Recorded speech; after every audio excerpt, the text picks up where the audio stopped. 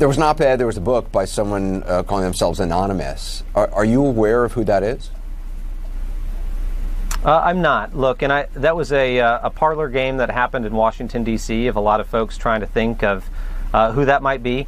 I've got my own thoughts about who that might be, but uh, you know, I you're want not, my you're not to be anonymous. on the president, and I certainly don't want to. Uh, I, I wear a mask for two things, Anderson: uh, Halloween's and pandemics. So no.